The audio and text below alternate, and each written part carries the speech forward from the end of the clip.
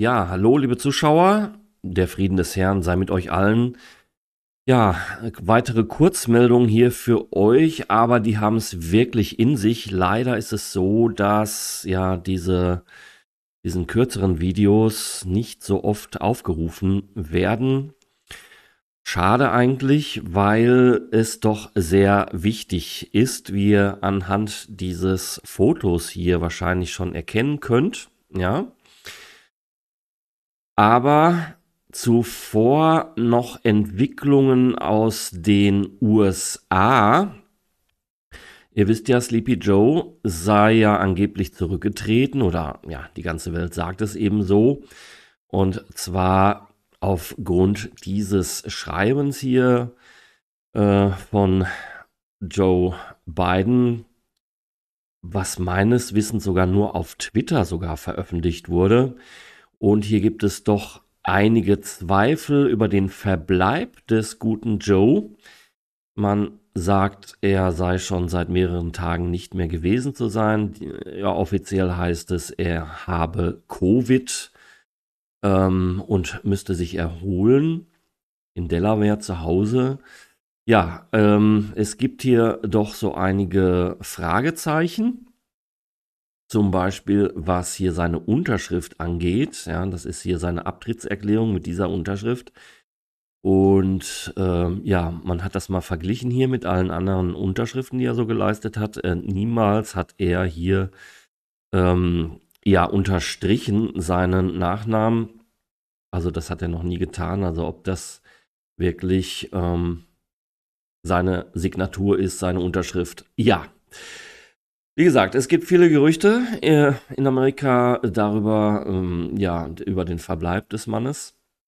Und ähm, ja, ganz skurril hier natürlich wieder auch.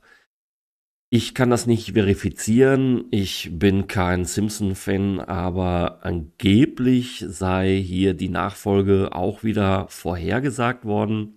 Darauf läuft das Ganze jetzt hinaus auf eine Nominierung von Kamala Harris als äh, nächste demokratische Präsidentschaftskandidatin. Ja, ja und äh,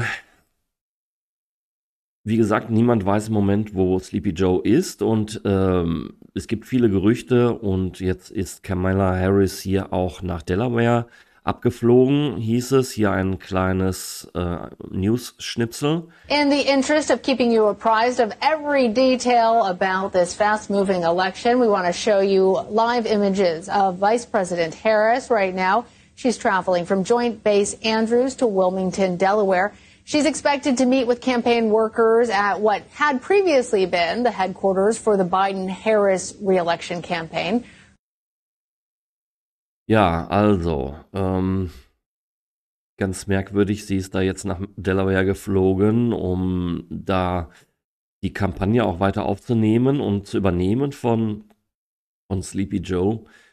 Ja, schauen wir mal, wie sich das entwickelt. Ja, ähm, die Medien machen Kamala Harris jetzt auch groß und äh, hier ist zum Beispiel die 75,3 äh, Prozent der Demokraten für diese, also für diese Nominat, äh, Nominierung, ja, zur äh, Präsidentschaftskandidatin. Also die Delegierten sind schon zu 75,3 Prozent für Kamala Harris. Äh, interessant auch da, das Geld, die äh, Spendenkampagnen, die äh, Sleepy Joe gefahren hat, die würden normalerweise erlöschen wenn jemand anders das übernehmen würde, aber da ja, ja Kamala Harris als äh, Vizepräsidentin äh, in seiner Kampagne hat, kann er das Geld oder kann sie, Kamala Harris, das Geld aus der alten Sleepy Joe äh, Kampagne, die Spendengelder weiter verwenden. Ne? Also das ist natürlich auch ein finanzieller Anreiz hier. So, ja, und jetzt ähm, kommen wir eben dazu, was ist denn hier los eigentlich? Ähm, Washington scheint offensichtlich lahmgelegt zu sein. Und ähm, hier wollte ja auch Netanyahu, wollte eigentlich auch äh, dabei sein, beziehungsweise wollte sich treffen eigentlich mit Sleepy Joe. Das ist natürlich jetzt gecancelt worden, weil wir nicht wissen, wo Sleepy Joe ist, beziehungsweise ob er krank ist, jetzt Covid hat oder so offiziell, ja. Ja, also, es sollte ein ganz wichtiges Treffen werden. Netanyahu war eigentlich auf dem Weg nach Washington. Und ja, das wurde ganz gecancelt hier, das wurde abgesagt. Ähm, ja, Netanyahu braucht natürlich Zugeständnisse jetzt auch äh, ganz wichtig äh, von Amerika für weiteres Vorgehen gegen äh, Libanon bzw. die Houthis und ähm, Hisbollah. Ja, der braucht natürlich hier auch Munition und so weiter und natürlich auch weitere Unterstützung. Aber Washington ist lahmgelegt.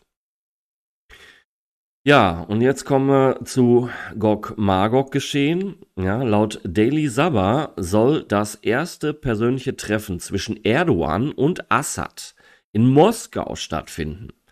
Der Irak, der angeboten hat, die Vermittlungsgespräche auszurichten, könnte ebenfalls nach Moskau eingeladen werden. Der Iran wird bei den Gesprächen nicht anwesend sein, noch nicht. Oder vielleicht kommt das noch. Ja, hier haben wir die Meldung eben von Daily Sabah. Ja, also Erdogan-Assad-Gespräche werden in Moskau stattfinden. Ja, und ähm, die nähern sich an hier, also Syrien und die Türkei nähern sich wieder an. Dieses Verhältnis war nicht so gut, aber man nähert sich jetzt wieder an. Und das lässt uns natürlich blicken auf die von der Bibel, von Gott hervor, äh, vor, vorausgesagte Invasion Gog Magogs gegen Israel, die eben bevorsteht. Ja, und die Entwicklungen zeigen eben, es läuft darauf hinaus. Ja. Also hier die Türkei, Tubal, Goma, Togama, Meschech nach Hesekiel 38 und 39, wisst ihr ja. Falls ihr neu seid auf meinem Kanal und diese ähm, Vorhersage oder diese Prophetie aus der Bibel noch nicht kennt, aus Hesekiel Kapitel 38 und 39, schaut bitte meine älteren Videos dazu. Ich werde die in meine Infobox hier verlinken. Äh, die waren zwar jetzt äh, von der Soundqualität und so noch nicht so gut, aber bevor ich mich hier wiederhole, schaut mal die alten Videos, wenn ihr neu dabei seid und dieses ähm, Gog-Magog-Geschehen noch nicht kennt. Aber wir sehen hier jetzt, wie sich das ähm, weiterentwickelt. Russland ist natürlich schon in Syrien, ja, da ist es natürlich ein kleiner Sprung.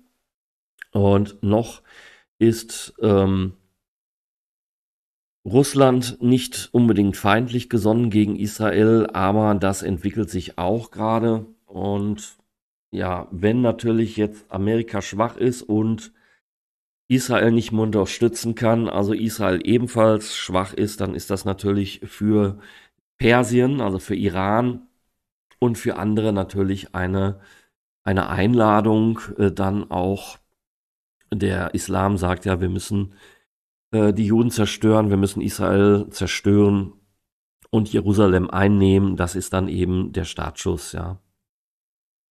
Ja, sehr interessant. Sagt es bitte anderen, ja, die noch nicht gläubig sind, die noch nicht zu Jesus Christus gefunden haben. Was hier vor sich geht, ist die biblische Prophetie erfüllt sich hier vor unseren Augen. Ja, wir sehen es jetzt wirklich dramatisch auf uns zukommen. Gog-Magog-Krieg soll nach vielen Auslegungen noch vor der Drangsal eben passieren oder kurz zu Anfang der Drangsal, je nachdem. Natürlich gibt es in der Bibel auch noch äh, Gog-Magog-Krieg am Ende der tausend Jahre, ja, an, des, des Millenniums, ja, ähm, was nach der Trübsal, nach der Drangsal kommt. Aber das ist nochmal ein zusätzliches Geschehen, was äh, dann später noch kommt, ne? nach tausend Jahren. Ja, meine Lieben, ich wünsche euch jetzt alles Gute, sage Shalom und natürlich wie immer Maranatha.